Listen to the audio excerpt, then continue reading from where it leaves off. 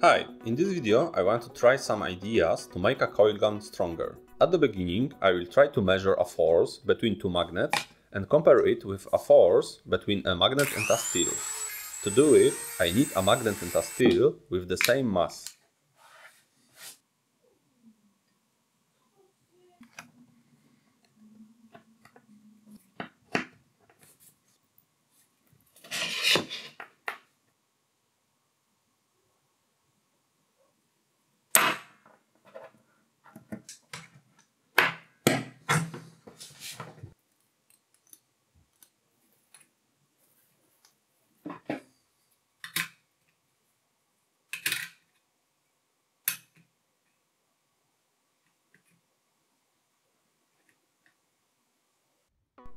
As you can see, I've created a simple experiment. I've measured the force with two different distances. If the distance is longer, the force is stronger for the magnet-magnet system. For my configuration, it's more than 5 times. But if we cut the distance, the difference decreases. Why is that? The answer is quite simple. If the distance equals 0, the force for the magnet-magnet system and the magnet-steel system is the same. But if we increase the distance, the force is always stronger for the magnet-magnet system. So that means a projectile should be made from a ferromagnetic material. By this the coil will increase the velocity of the projectile more effectively. To explain the next idea, let's think about how the coil gun works. When we turn on the power, the coil creates an electromagnetic field. This attracts a projectile. However, we need to turn off the power at the right moment. Why? Because if we don't do it, a projectile will be attracted to the center of the coil. In the case with a ferromagnetic projectile, we can do some trick. We can switch the direction of the power when the projectile is close to the center of the coil.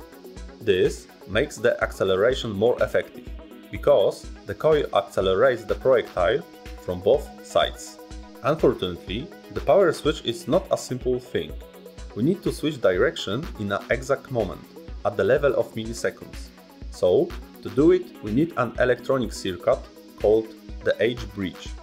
But there is another problem. I couldn't find on the market any H-bridge for high voltage. This is the reason why I designed my custom circuit for 100 volts.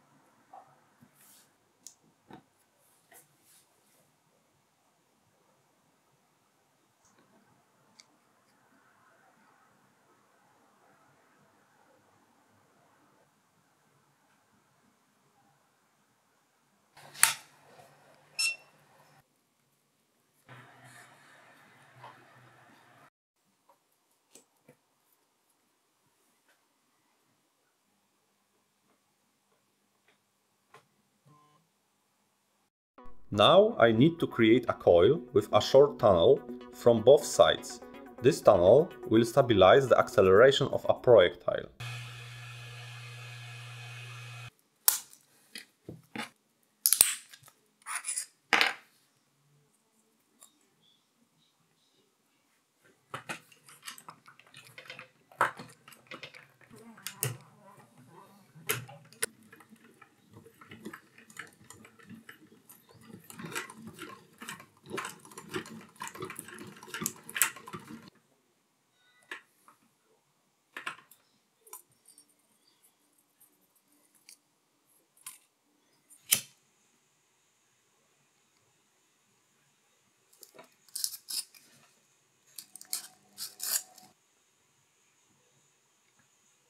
Unfortunately, my results were disturbed.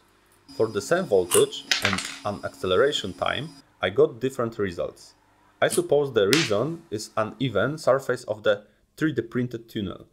The projectile hits 3D printed unevenness and loses velocity. So I need a more smooth tunnel. I found an aluminium pipe, but that wasn't a good choice.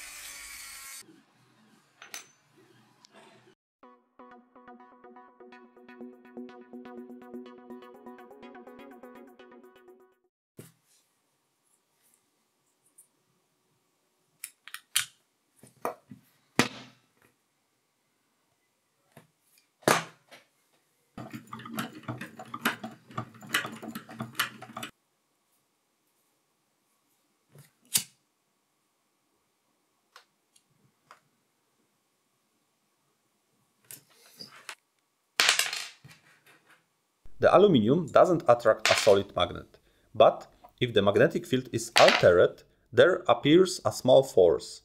So aluminium is a bad material for my purpose. Fortunately, I found in the store a plastic tube with the same dimensions.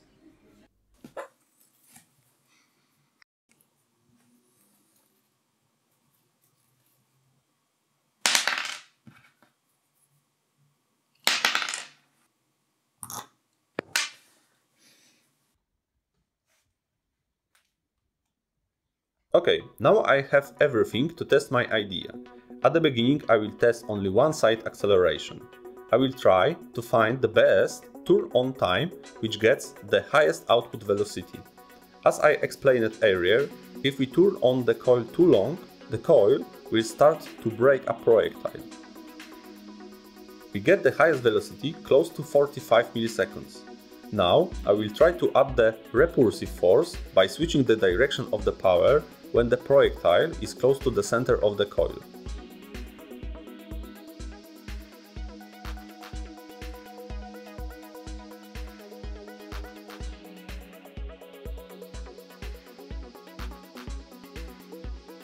As you can see, 15 milliseconds give us the highest final velocity. We could keep the power turned on longer, but that doesn't change the result. So, the final conclusion is as I expected both side acceleration is better than one side. This is a well-known fact, but I wanted to test it. When we cool down the coil, the resistance decreases and the power of the coil increases.